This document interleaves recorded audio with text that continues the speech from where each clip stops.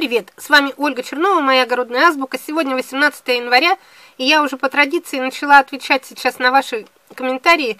Вот сейчас, именно в это время, в преддверии посевной, хочется, чтобы у всех все получилось в этом сезоне, и вы, возможно, вот поч... ну, прочитывая все комментарии, мнения других людей, выслушивая мои какие-то подсказки, советы, возможно, в этом году вам все это поможет – вот эти все пазлы сложатся, и будет у вас прекрасный-прекрасный урожай, чего я всем желаю. Сейчас пройдемся по вопросам. Как всегда, начну вот с этих, которые самые свежие, и буду назад отматывать. Ну, там сколько успею. Обычно все вопросы, которые пришли за день, за полтора, я не успеваю. Все-таки время быстро-быстро как-то проходит, вот даже незаметно пролетает. Вот про монгольский карлик. Валентина Калашникова пишет. Оля, как можно заказать семена? Уже не знаю, где купить. Поделитесь, пожалуйста. Валя, я бы с вами поделилась, и я бы вам выслала, но дело в том, что я уже набрала такое большое количество заказов, что я больше сейчас не принимаю. Я вот даже не на все, вопро... на... Не на все письма с заявками ответила, которые принимала вот после Нового года, но вот все, кто до 15 января мне прислал заказы, я всех обслужу.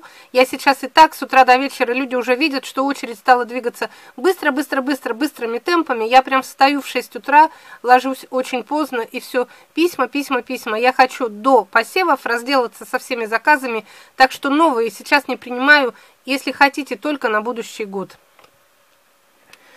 Вот пишет Ольга, что-то не стыкуется. Если я знаю, что высаживать томат в открытый грунт буду 10 июня, то сеять их буду за два месяца до этого и все сразу. Именно тогда получается конвейер. Если поздние посажу на месяц раньше, раньше они поспеют одновременно. И намучаюсь с этими рано высаженными выше крыши. Но это я всегда говорю, это лично ваше дело, личное дело каждого, когда, как посеять. Ну почему все сеют позднеспелые пораньше, потому что у нас в сибирском регионе они не вызревают, если их высаживать, высевать вместе с раннеспелыми, со среднеспелыми. Еще раз говорю, вы хозяйка в своем огороде, можете вообще посеять поздние, даже позже скороспелок. Никто вам за это вас не поругает, и никто вас за это не осудит. Вы хозяйка в своем огороде. Я говорю то, что принято, то, что рекомендуют специалисты, то, что делаю я в соответствии со своим опытом. Ну, каждый у себя в огороде может творить, что хочет. Так, про Гацанию Татьяна Коробова. В подвале какая температура, сколько по времени они там находятся? Они находятся там с осени до весны. Смотрите позапрошлые видео из подвала. Я показываю там, как Гацания, как Петуния, как они там растут, как там эти гиацинты зацветают. Нынче я в подвале не возилась с цветами, нет, все видео года прошлогодние и позапрошлогодние.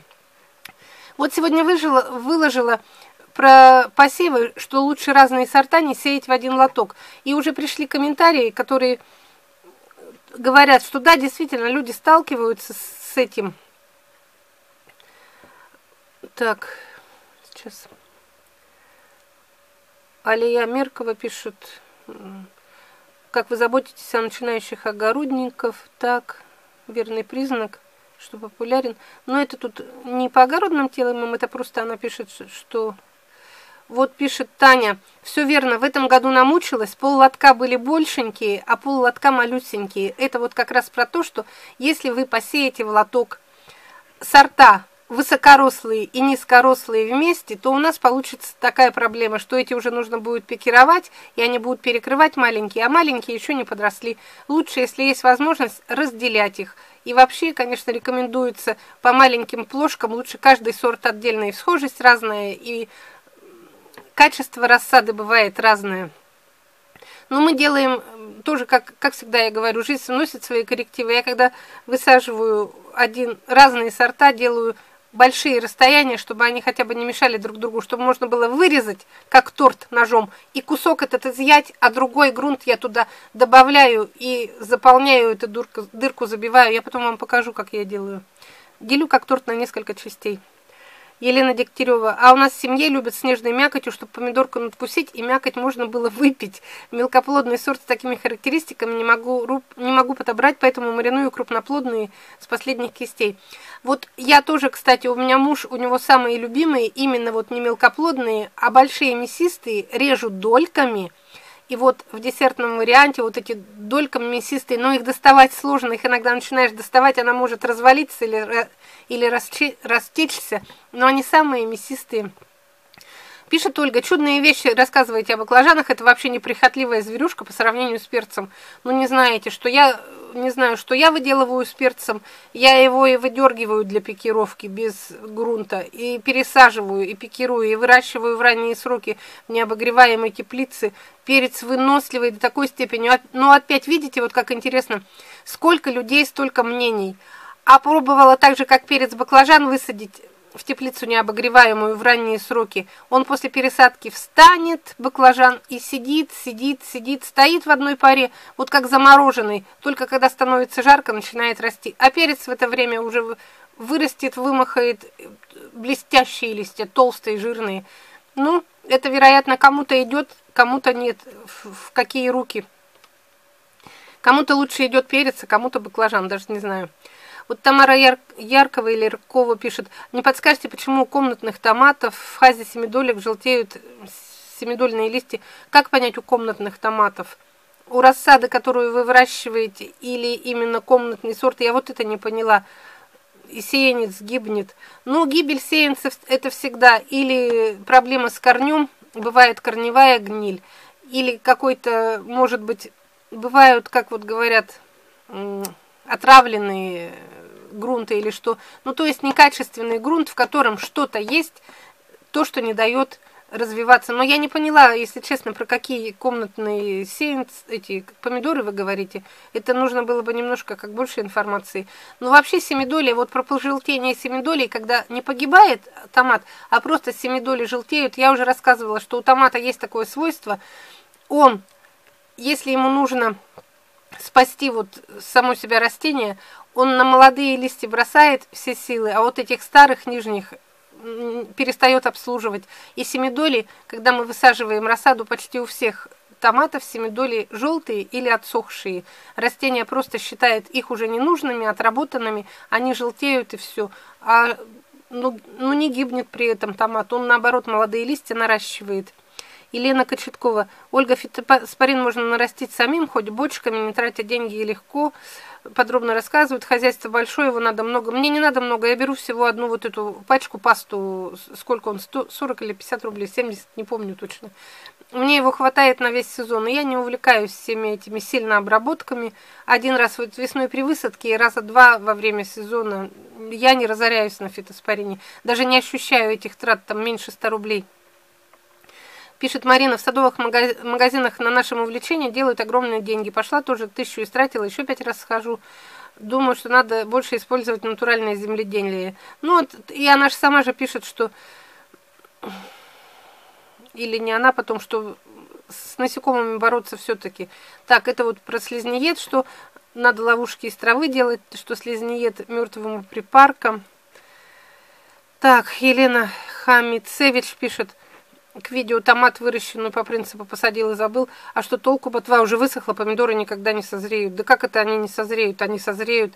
Им вот это вот, то, что они лежат на солнышке и на корне, они прекрасно дозариваются. Очень приятно выглядите в новом имидже.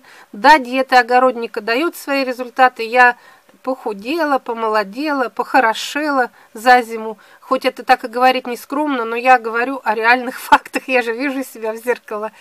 Ну, этой зимой я взяла за себя, той зимой некогда было. Загрузила себя слишком, а нынче занимаюсь собой, подиетничала очень хорошо, да. Так, Надежда Северина. Приобретенном вами для увеличения и спасения урожая единственное купорос применяю в крайнем случае, но иногда без него никуда, особенно с болезнями. Яблонь да на томатах однажды применяла. В сезон ходить по магазинам некогда, люблю иметь в запасе средства защиты. Если подкормить можно и другими средствами, то от вредителей болезней нас спасают препараты. Но это точно.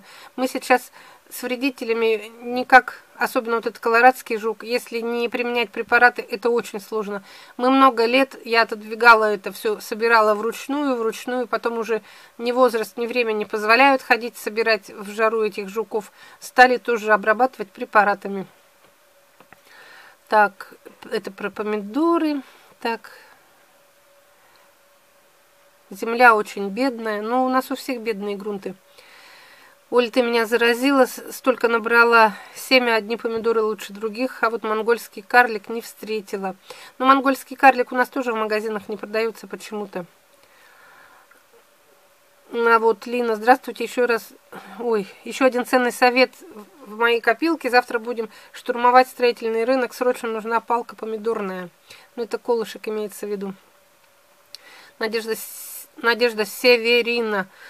Таких сортов у меня не было, но форма трюфель грушевидные, по-домашнему называем, всегда удавались при засолке с обычными другими сортами, всегда выделялись более сладким вкусом. Да, вот я говорила еще осенью, что красный трюфель, вот эти желтый трюфель, они очень идеально подходят для консервирования. Вот дошли до того Видео вчера выложила, увлажнение грунта, сколько воды добавлять. И меня что поразило, что так много комментариев пришло в ответ на это видео – самый простейший ролик, где я показывала, как я замешиваю вот эту вот землю, подливаю туда жидкость, увлажняю, как я ее потом разравниваю. Люди столько восхищенных комментариев прислали, и я поняла, что народ соскучился по земле. Просто показала землю, там минимум информации, что как узнать, достаточно она влажная или нет. У людей такая ностальгия, прям дальше там сейчас опустимся, много видеороликов, как вы поглаживаете, да как вы... Ну, все, значит, сезон уже пора, скоро открывать нужно. Галина Купрюш... Купрюшина пишет. Ольга, спасибо большое за видео. Как же любовно земель... земельку гладите? Я несколько раз встречалась с такой информацией, что фитоспорин на начальной стадии выращивания рассады угнетает развитие корней. Всегда им пользовалась, у моей рассады корни были не очень развиты.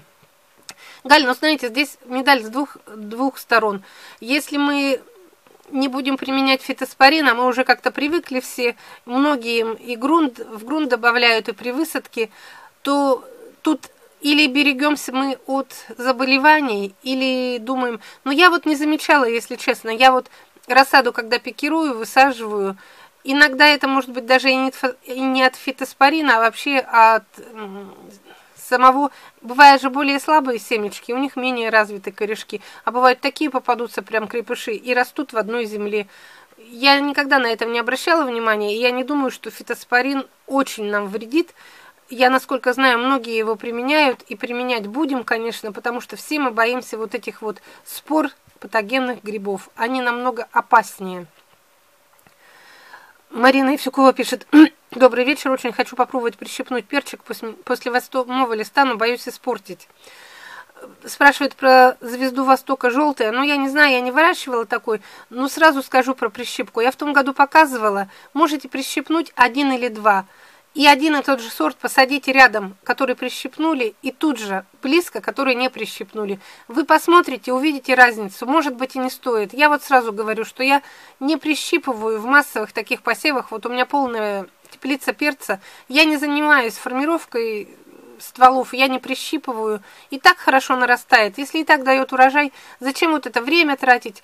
Высчитывать там, какую перчинку убирать, какую не убирать, какой пасынок лидирующий, там, какой нет. Это сложно, много времени занимает. Если, конечно, 10 кустиков, то можно там еще попробовать. Я не, не занимаюсь этим. Ирина Зубкова пишет, здравствуйте, а монгольский карлик уступает этому сорту? Тут, наверное, про нет, вот это видео. Я начинающий огородник, хочу определиться с приобретением семян. Ира, ну я вот в прошлом летом я говорила, что монгольский карлик я выращивала всего первый раз, и то мне люди добрые прислали семена, просто как в подарок. Я решила попробовать, и вы, посадила я его поздновато немного, и вот полностью он у меня не раскрылся, я не сложила о нем такого мнения. Я всегда говорю, что по первому году я по томату не сужу. Надо посадить второй раз, надо посадить третий раз. Сразу скажу, какие различия между этими двумя сортами – Карлик, он стелющийся. Он никогда ни с подвязкой не выращивается. Вот он вырастает 15-20 сантиметров в высоту, и у него сразу вниз начинают клониться к земле вот эти веточки, и он растет как расплющенным. А этот компактный такой вот, как он будет, если колышку, то он будет стоячий, как дерево, как комнатный, вот карликовый, например, выращиваем томат, а если вы его не будете привязывать к колышку, то он наклонится под тяжестью вот этих стволов, но все равно вот так в разные стороны в форме звезды он расползаться не будет. Это совершенно разные, но они единственное, какие свойства у них, что вот они такие неприхотливые, и выносливые. Все, больше у них ничего сильно одинакового нет. Этот толстоногий, а тот наоборот с тонкими стелющимися такими, как бы они, как это, как по земле. Так, Светлана Ди пишет. Ольга профессионал по томатам, даже в консервированном виде хорошо разбирается в сортах, с дегустацией хорошо придумала. Тут она пишет, что раньше были болгарские томаты без кожицы, но держали форму.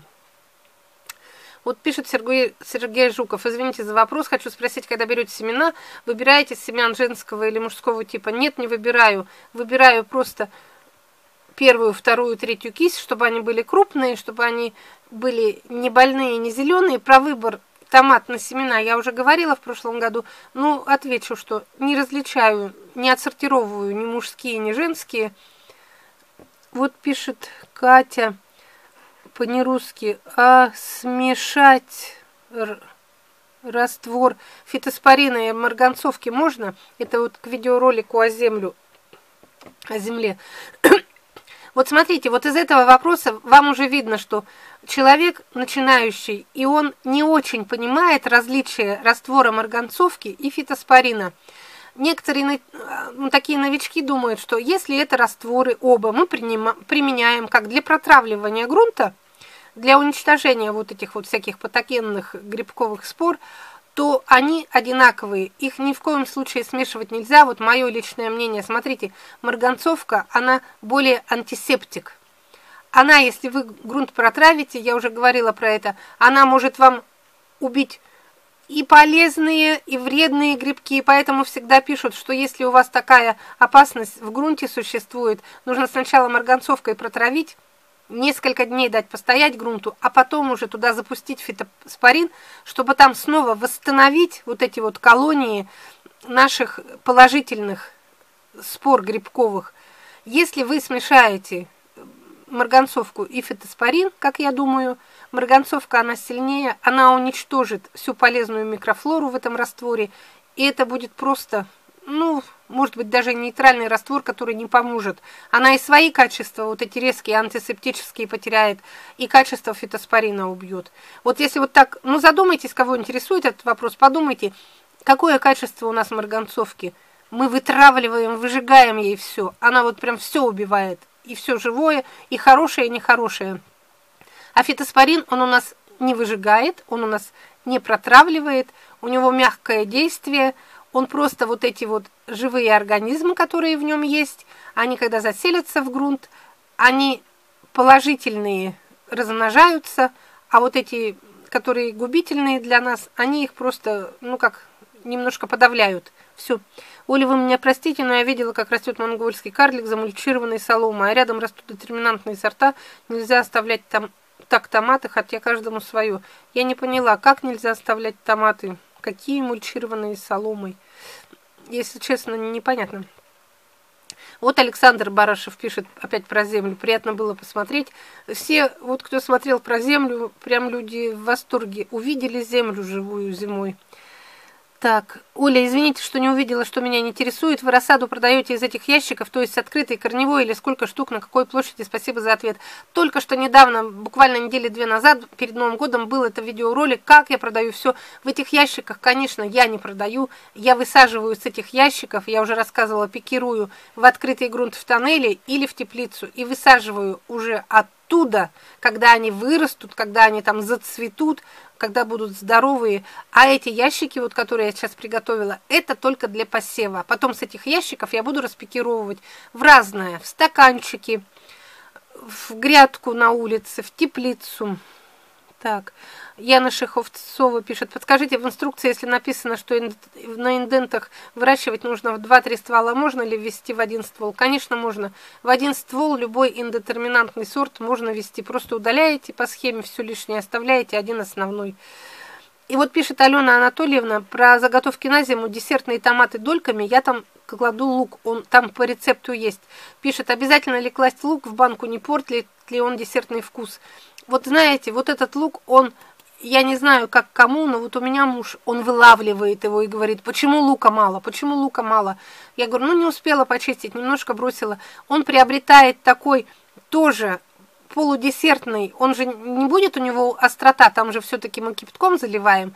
Он такой маринованный лук со сладким, с таким, с оттенком сладости, он очень вкусный. Но в любом случае, если вас это пугает, вы можете не класть туда лук, будет без лука, просто чисто десертный. Но лук в десертных помидорах очень вкусный делается. Вот натуральный маринованный лук, вот такой вот, ну, необычный.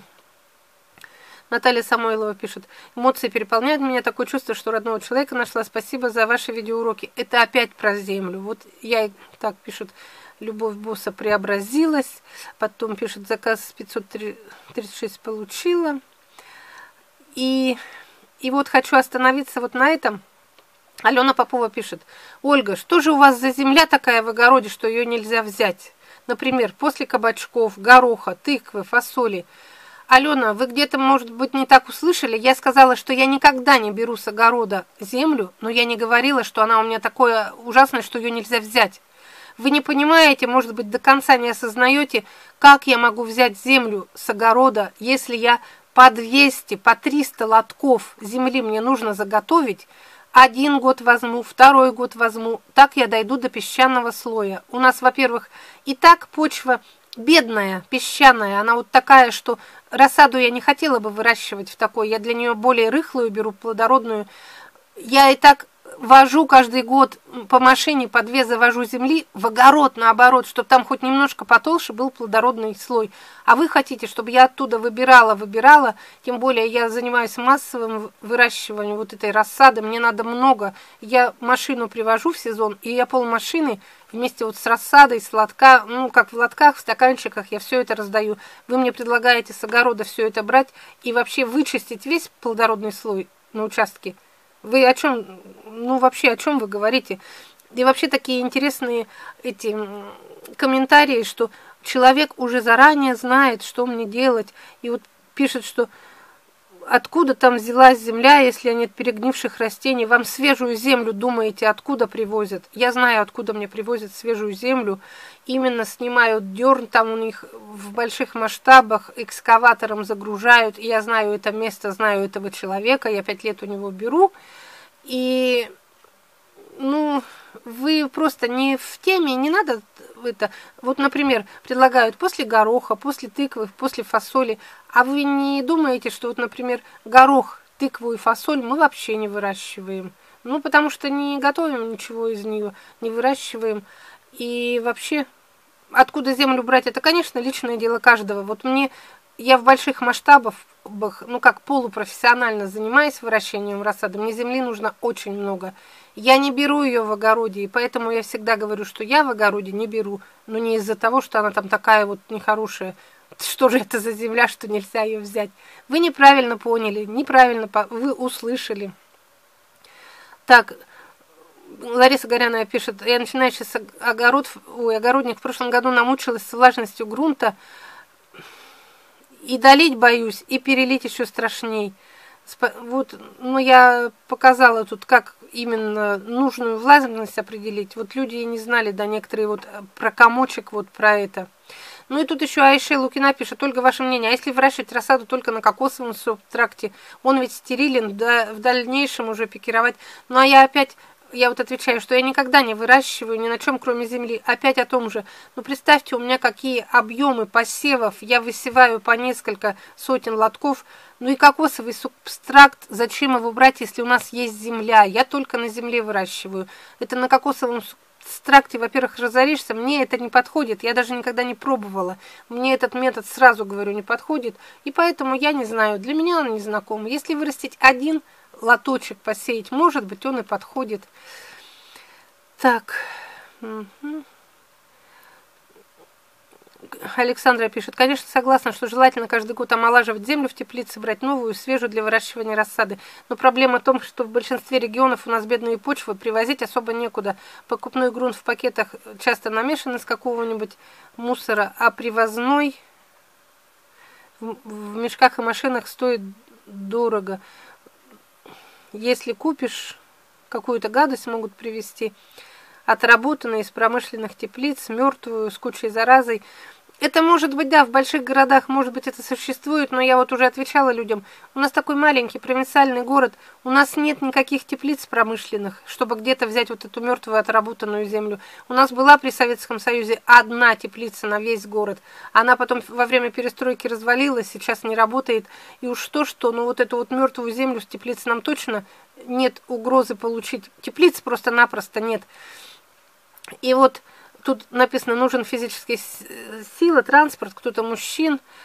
Ну, это да. Ну вот я беру уже много лет вот машины, и я просто посчитала для себя, что для меня это выгоднее взять одну машину вот на два года, на три мне хватает. Но опять же, я могу себе позволить это потому, что я занимаюсь вот выращиванием рассады. Я из-за этого и начала все это делать, чтобы обновить грунт в огороде, чтобы купить себе теплиц, чтобы привести огород в порядок. Я поняла, что на пенсионные деньги этого не сделаешь. Ну, вот правильно она сказала, каждый крутится как может. Вот приходится выкручиваться. Все. Тут о перекиси водорода. Я, если честно, перекисью водорода я умею как делать, я в прошлом году показывала, но я ничего этого не делаю. И вот пишет Светлана Давыдкина, вот сегодня после ваших вчерашних видео купила фитоспорин и гумат, все вместе готовимся, и мне хочется закончить вот на этом. Тут вчера, позавчера были комментарии, вот когда меня тут подучают, что неправильно сказала слово, вместо салатовый сказала салатный. Нет, вместо салатной салатовой. Ой, запутали меня. Ну, Лиза там одна. И когда я сказала ей, что, ну, ну, короче, неважно. Она сказала, я отписываюсь. Тут одни эти, как же, агрессивные дуры и тупые неучи. И вот даже Седро Альфонсо не вытерпел и сказал, где-то вот сказал, почему вы все такие противные? Женщины, девушки, если вы заходите, например, на какой-то сайт, да, я вот, меня несколько раз уже поправляли, я неправильно говорю, не говорю сажала, а говорю садила, но это уже с молоком матери, всегда мама говорила, я посадила вот это, а вы садили или нет? И все говорили, садили, а не сажали. Я это воспринимаю как в порядке вещей. Когда вот делают такие замечания, ладно, если бы сказали, что это неправильно вы слово говорите, но с другой стороны, я здесь не преподаю русский язык. И опять вот в том видео говорила про это, и здесь растянулось даже до сюда эти комментарии. Ну, Учиться русскому языку, конечно, лучше не на огородных сайтах. Здесь мы много что говорим неправильно. Я иногда и не контролирую себя, могу сказать слово и неправильно. Ну что ж теперь, приходится, кто хочет слушать мои советы, вам приходится потерпеть. А когда мне указывают, знаете, как говорят, если уж вы взяли учить людей, то научитесь разговаривать правильно. И потом эта женщина говорит, а я хотела у вас вообще-то поучиться, но если вы пришли поучиться огородному делу, вы зачем в таком тоне разговариваете с автором вот этих видео? Я вообще-то не сторонница, вот чтобы кого-то блокировать, удалять, но когда такое неуважительное, хамское отношение ко мне, конечно, этих людей буду убирать. И не из-за того, что у меня вот такая мания величия, я вам сейчас объясню почему. Вот все восхищались вот этим роликом о землю. Вы понимаете, для меня это темы это такие темы, я говорю об этом с воодушевлением. Я выкладываю всю свою душу, из кожи вон лезу, чтобы вы поняли, чтобы до вас донести. И когда человек, просмотрев все это, говорит, ой, а вы неправильно там слово сказали. Вот знаете, как вот есть выражение, вот так вот, как даст, как серпом. И руки опускаются, и думаешь, Зачем, перед кем я все это выкладываю, все. И поэтому вот такого человека, который заходит с негативным настроем, с черными мыслями, с оскорблением, с, ха с хамским отношением к автору, я, конечно, удаляю. Удаляю только потому, что, чтобы я могла спокойно дальше рассказывать, радовать других зрителей, восхищаться растениями, восторгаться, вот это вот, с воодушевлением рассказывать, а не бояться, что тебя потом поправят и назовут как каким-то тупым неучим. Все, до свидания. Закончим, закончим на хорошей ноте. Я так и не нашла, где, где хотела прочитать, что даже человек, иностранец, который не, не очень, может быть, даже нас хорошо понимает, он и то сказал, вы что такие противные, которые пишете сюда? До свидания.